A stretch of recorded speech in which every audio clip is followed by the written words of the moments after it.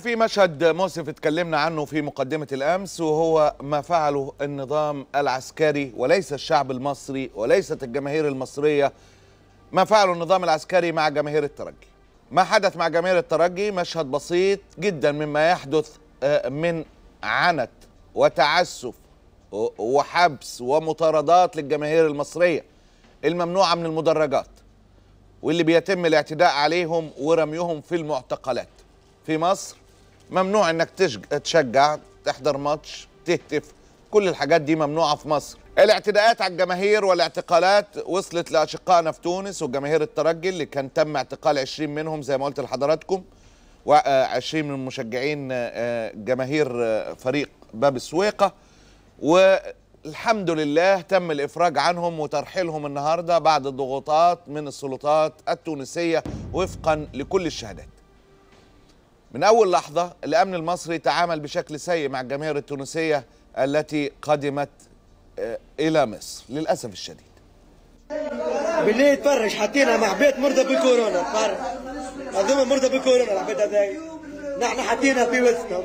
تفرج كيفاه ريد تفرج العباد حتى كشكولات ها العباد متعيشة لهنا. ها فرج جماهير الترجي اللي, اللي تم التحرش بهم من أول لحظة وأعود وأؤكد أن التحرش لم يكن ابدا من الشعب ولم يكن ابدا من جماهير نادي الزمالك ولم يكن ابدا من أي مصري. التحرش من السلطة المحتلة الوطنية. التحرش الذي الذي بدأ مع جماهير الترجي من أول لحظة آه، آه، آه، في المطار من الأمن في المطار كان من سلطات العسكرية. آه، أعتقد إن مباراة الترجي والزمالك اللي كانت في الدوحة آه، من أكتر من أسبوعين كانت شاهد على آه، إن إحنا شعب واحد وأرض واحدة ومفيش فرق بين المصريين والتوانسة. لكن زي ما قلت آه، ليه أو استسمحت جماهيرنا التونسية والأشقاء في تونس آه، في مقدمة الأمس إنه نحن محتلون. ودي حقيقة يعلمها القاسي والداني. الامن في المطار كان رافض أي هتافات جماهيرية آه، للفريق وحاول استفزاز الجماهير بتلك الطريقة.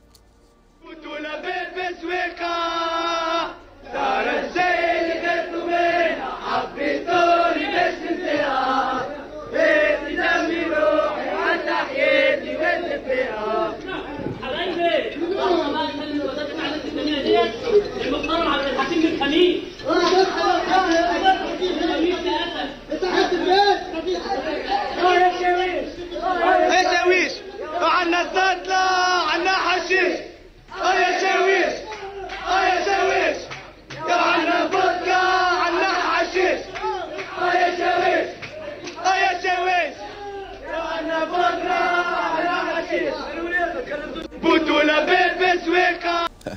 قال لهم بغنوا هناك ما تغنوش هنا هنا لا هنا ما تغنوش. ودي فرصة أقول لل- للجماهير آه، آه، فريق باب السويقة جماهير الترجي ال- آه، الفريق العريض والجماهير الرائعة إن عندك مباراة عودة اهتف فيها سمع العالم كله كله. فلسطين وسمعهم ال- الأنشودتين وليست الأنشودة الواحد الواحدة للترجي الاثنين رائعين حقيقة. واللي بتهتفوا فيهم ضد الحكام الظلمة سمعوا العالم كله صوتكم الأزمة هو في النظام آه، آه، هي في النظام العسكري المصري اللي عنده آه، متلازمة الجماهير. يعني عنده حساسية شديدة جدا لأي حاجة اسمها جماهير. وخصوصا عندما تكون تلك الجماهير تهتف أو تغني لفلسطين أو الشعوب العربية. ده عز الدين اللي كان رفع علم فلسطين و... آه، و... وتم اعتقاله نتيجة رفعه علم فلسطين. عشان بس آه، آه، إخواتنا التوانسة يعرفوا إن ده مبدأ في التعامل مع الجميع. فبالك بقى بالجماهير التونسية اللي هتفت والجماهير الجزائرية زي ما حصل مع الجماهير الجزائرية اللي هتفت ضد الخونة وضد السيسي. المشهد هو مشهد من طريقة النظام العسكري واللي بيزرع الفتن بين الشعوب العربية. ده ديدنه طول الوقت. الأمر تصاعد وتم الاعتداء على الجماهير والقبض عليهم زي ما عرضت لحضراتكم بالأمس.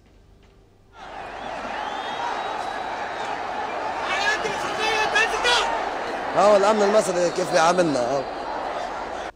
اعتداءات واعتقال 20 من الجماهير التونسية. السفير التونسي في مصر حكى اللي حصل مع الجماهير وكيف تم آه، آه، ترحيلهم؟ الحمد لله. أصبح الترحيل من مصر. يعني وأنت مترحل تسجد على الأرض لربك ما ترفعش رأسك مع الأرض. شكرانية. وقول اللهم آه، لك الحمد والشكر عدد خلقك وزنة عرشك ومداد كلماتك ورضا نفسك. يعني اشكر ربك واحمده وأنت مترحل. السفير التونسي حكى الحكاية.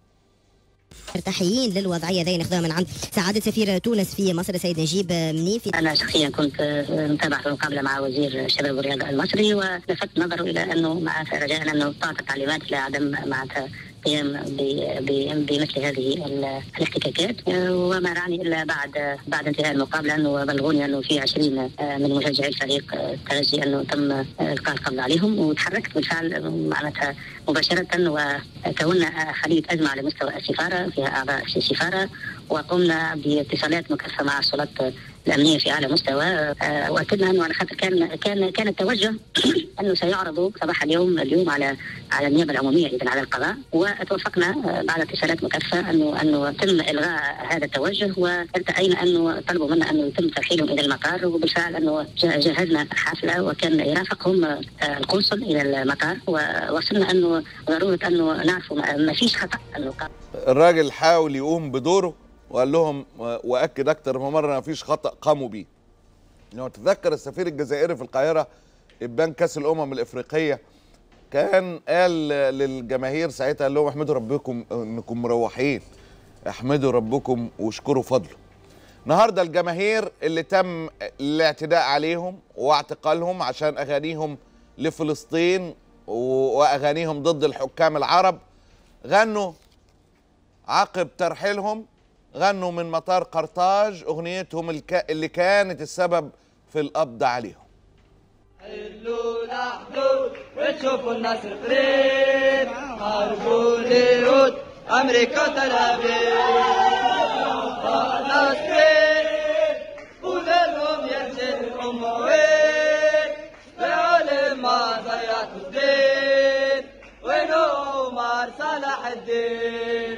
حكم العرب حكم خوانا سلطة وذهب من مرجعوها حلوا الحدود بتشوفوا النصر قريب حاربوا اليهود أمريكا تل أبيب. يا فلسطين قولوا لهم يرجع الامه وين بقول ما ضيعتوا الدين. وين عمر صلاح الدين حكم العرب حكم خوانا آه،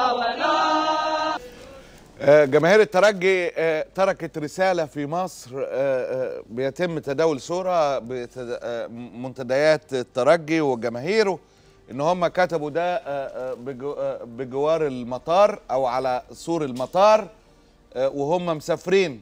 رسالة للسيسي. هانت عليكم فلسطين من أجل رئيسكم اللعين. هكذا كتبت جماهير فريق باب سويقة وهي تغادر القاهرة مرحلة آه، آه، بعد القبض عليهم نتيجة غنائهم لفلسطين. فقال لك هانت عليكم فلسطين من أجل رئيسكم اللعين. جماهير الترجي منعت من إنها تغني أغانيها لفلسطين. وأغنيتها ضد حكام العرب وأصروا يغنوا أغنيتهم في تونس الثورة. عقب وصولهم لمطار قرطاج بعد أن اعتدى عليهم الأمن المصري عقابا أو انتقاما. من اغانيهم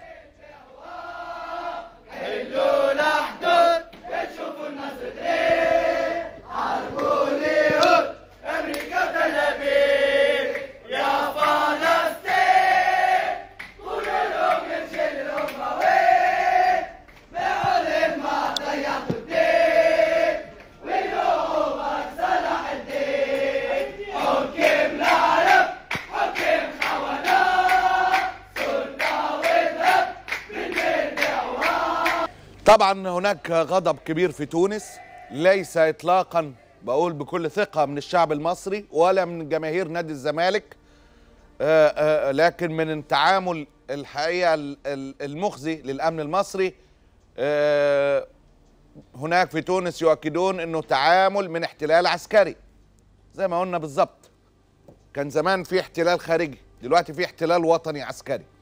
كان في بيان مهم من ائتلاف الكرامة اللي ليه كتلة نيابية آه، كبيرة في البرلمان طلع بيان بخصوص تلك الأحداث. البيان بتوقيع الناطق الرسمي لائتلاف الكرامة السيد سيف الدين مخلوف. آه، آه، صفحة الوايت نايتس للزمالك رفضت رفضت. بقول لك ده لا يعبر عن جماهير نادي الزمالك ولا يعبر عن الشعب المصري اطلاقا اللي بيننا كبير. نحن وطن واحد شاء من شاء وأبى من أبى. ألتراس يوم 28 فبراير أهو أول امبارح. ألتراس وايت نايتس وايت نايتس تندد بالقمع والاعتقالات العشوائية التي تعرضت لها جماهير الترجي في مباراة اليوم من قبل قوات الأمن بلا أي ذنب سوى إشعال شمروخ ورفع علم فلسطين وتطالب المجموعة بالإفراج الفوري عنهم ومراعاة حق الضيافة. وتعلن المجموعة أيضا أنها تثمن نضال الجماهير العربية. في الشمال الإفريقي في هذه المرحلة الصعبة. ده الكلام اللي بنؤكد عليه دايما والله يا جماعة. في هذه المرحلة الصعبة التي تمر بها الجماهير وتضييق الأمن الذي يعانيه المشجعون. ونحن من بطن الحوت نناجيكم بأن مهما ضاقت علينا فإننا لا يدعمنا ولا يدعم أحبتنا في السجون سوى مرابطتكم. إنكم مرابطين في الدفاع عن الفكرة والعودة بها للأصول في وقت الفتنة. بيان أكثر من رائع من الترا التراس وايت آه، الزمالك ونحن جموع أفراد الحركة علما أن جماهير الكرة في مصر في السجون والمحاكم تدعمكم وتتنفس هواء الحرية الذي تتنفسونه مهما غابت منصات التعبير عنها فإننا ما زلنا نرى تلك الدائرة العابرة للحدود بذات البهاء مهما تبدلت الليالي. الله عليكم. لا تختلف معطياتها ولا تتلون باختلاف مراكزها وأن الإبقاء على الدوران في فلك أحكامها إبقاء علينا جميعا. من بطن الحوت نناجيكم. أنا عجبتني جدا وبحيي التراس وايت على آه، آه، هذه الجملة اللي اللي طبعا مستوحاة من القرآن الكريم من بطن الحوت. فده الوضع في مصر تماما خصوصا لجماهير الكرة. من بطن الحوت نناجيكم ونشد على أيديكم. وألا ظالم غير من ظلمونا وظنوا فينا الصمت ابدا. الحرية لجماهير الترجي الحرية لجماهير الزمالك الحرية للجماهير العربية. تحية ألف تحية لأولتراس وايت نايت ألف تحية لارتفاع مؤشر الوعي داخل الجماهير العربية. قد يتساءل تساؤل منطقة عربية وضع بهذا الوضع يا معتز هل ده أهم حاجة تبدأ بيها مباراة كرة قدم؟ في تقديرنا المتواضع؟ نعم. ليه نعم؟ لأن دي الحكاية مش مباراة كرة قدم. حكاية الفتنة العربية حكاية استخدمت بسفالة وحقارة من الأنظمة العربية طيلة أكتر من نص قرن عشان يوقعوا الشعوب في بعض. ومعظم النار من مستصغر الشرر.